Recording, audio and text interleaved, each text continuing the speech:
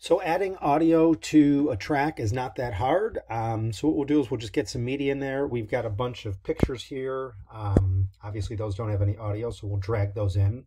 And okay. And let's say I wanted to do one of Milton, but I didn't want Milton's voice to show. So like with Kristen, there's always some background music. So if you click or hover over the clip and do that, I can just take the volume and mute it and then Milton's uh, volume will not show. So now we need to get our audio in there. Two ways to do this.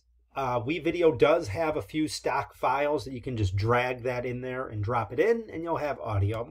Or if you want a bigger selection, you could go to Google and um, if you do free background music downloads is a search. Bunch of places, royalty free music. Uh, this B or Bensound has been great for me.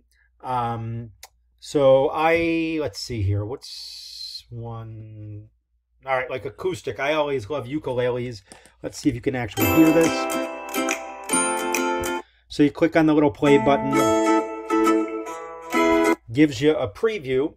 You click download. All right. Uh, let's see. We're just going to do a free download if it'll let us. Yep, ukulele. We're going to download that. So that's going to pull that onto my computer, wherever that goes. I'll come back to WeVideo. Um, I will go to My Media, and I'm going to import. Uh, I have this in my downloads on my computer. I think it was ukulele or something like that. Always the problem of what is it named?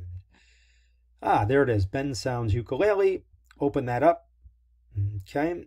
Uh, so there it is. It's uploading. It'll take just a second to render in um, WeVideo. And then just like before, you can take the file, drop it in, and you should have